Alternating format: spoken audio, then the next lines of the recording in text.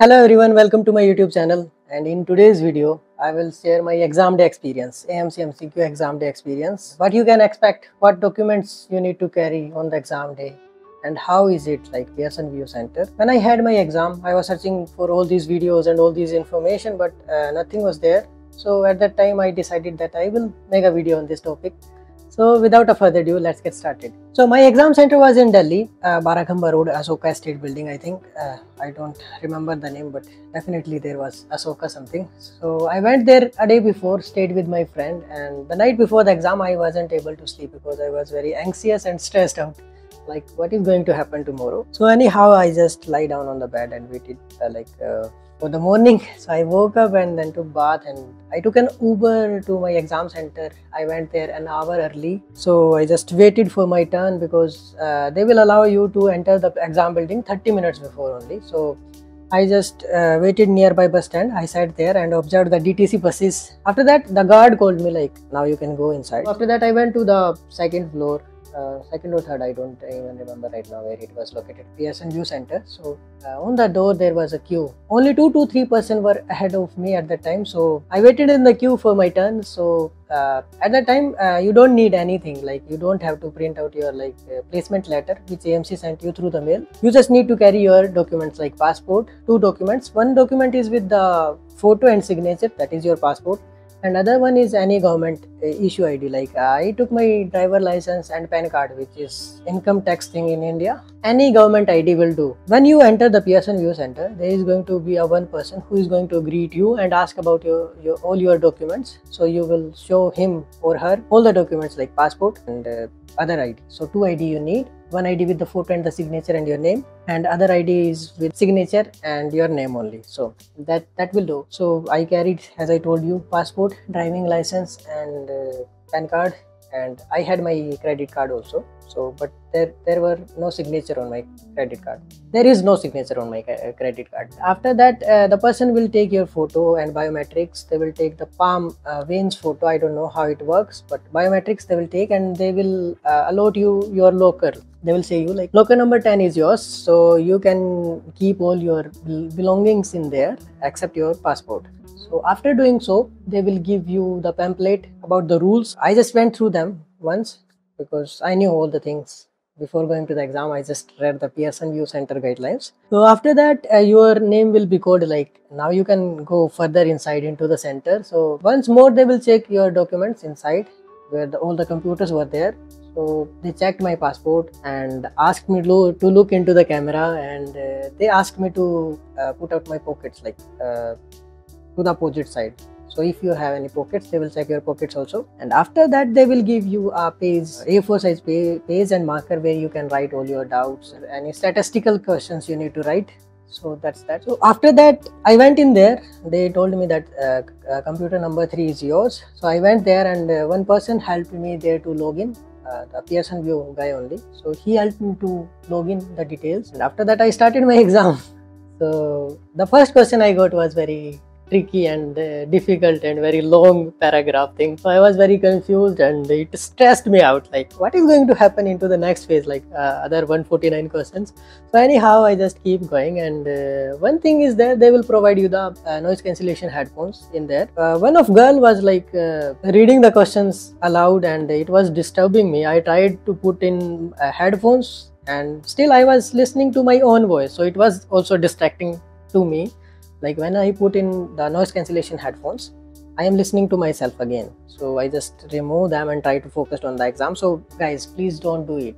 Uh, i know like you can whisper the questions. Uh, everybody uh, do uh, whisper thing like when you read the questions but don't read them very loud. So uh, it won't affect the other guys or girls who is there. So uh, because it, this exam is really expensive and you need to think about other people also like those who are sitting there and prepared for the exam.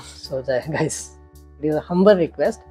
You can whisper the questions but don't read them aloud because it was very distracting for me. I, like i think two three questions i need to focus my brain and after that uh, the flow was there and uh, rhythm was there because i practiced a lot and i solved a lot of mock tests. So in the middle i got some recalls and it made me more calm and more focused while solving other questions and in the ending i had a lot of time left. So i intentionally started solving the questions a bit slow but still i managed to solve all the questions 40 minutes earlier uh, before the time limit like exam time limit. And i was like uh, i had my doubt like i'm going to fail or pass the exam because uh, it took me very few like uh, i had a lot of time in the ending. But i think like i practiced a lot of mock test and uh, time management thing.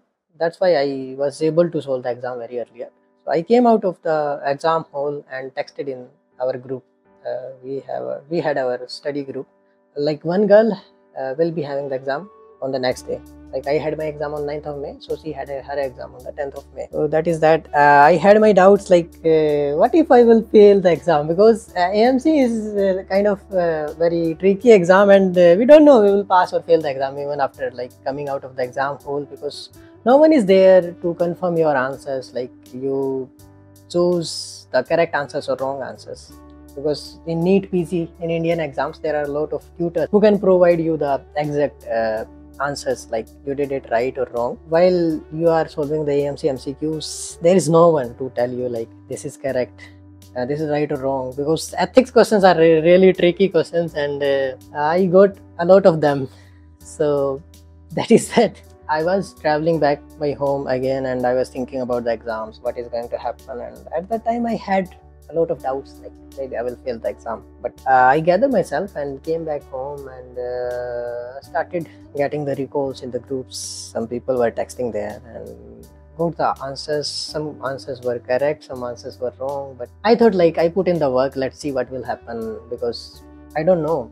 No one knows until you get your results so uh, after a few weeks i thought like maybe i will pass the exam some positive thinking and uh, i started preparing for the english exam pt exam. I just prepared for it one week and gave it and i passed it.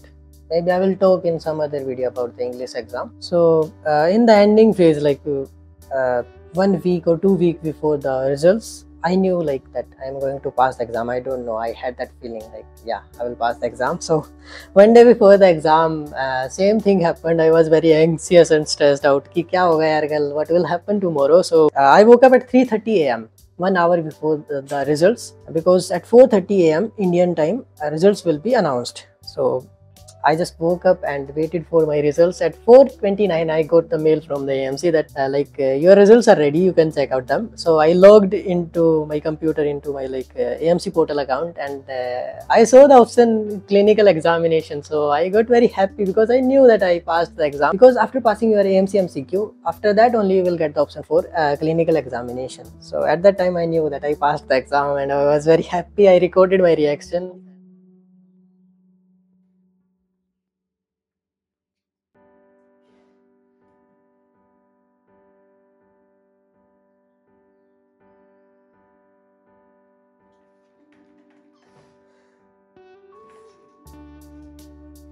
and uh, I called my girlfriend like uh, I passed the exam. Uh, it was a very special feeling at that time because all the hard work paid off. And uh, but the night before the exam, I prepared myself for both the situations. Like there is going to be only two outcomes, pass or fail, and I prepared myself for both the situations. So do the same because we have only one uh, goal for now, I will prepare for the AMC clinical examination and uh, I am trying to find a job in Australia because you are eligible to get a job in Australia and for limited registration with AHPRA. So, but it is really hard to get a job because uh, I got a feedback email. I already got rejected from two places. Uh, RMO campaign is going on in Australia.